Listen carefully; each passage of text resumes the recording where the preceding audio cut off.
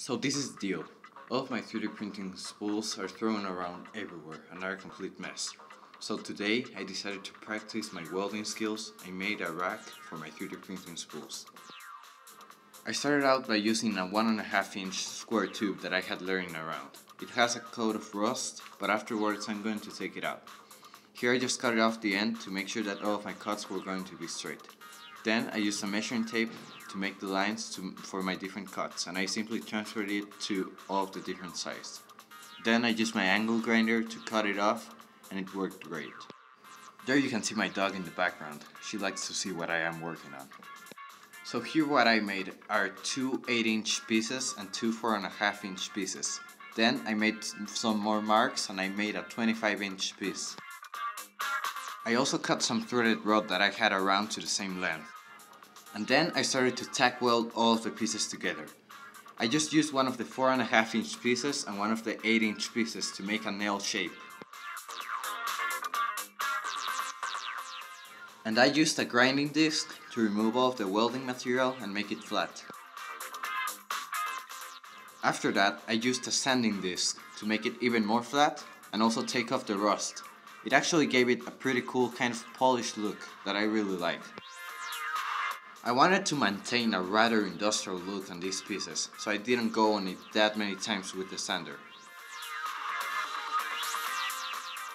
Once I was done with the two L's, I also sanded down the 25 inch piece that is going to put them together. And once I was done, I started tack welding both of the L shapes to the crossbrace. Always making sure to keep my work square.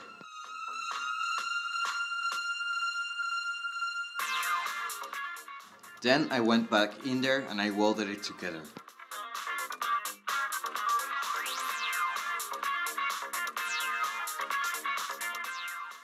I have really improved my welding skills since the last video that I made. I'm really proud of the results that I have been getting. Here's an example of a weld that I did today. It's a thousand times better than last time. Then I measured the threaded rod, made a quick design and I printed out some holders.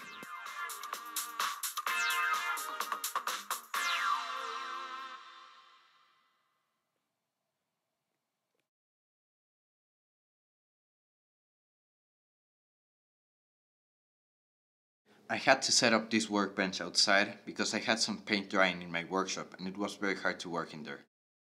So here I'm simply drilling and tapping some holes and then screwing up the 3D printed pieces to the metal. And I did the same for the other side.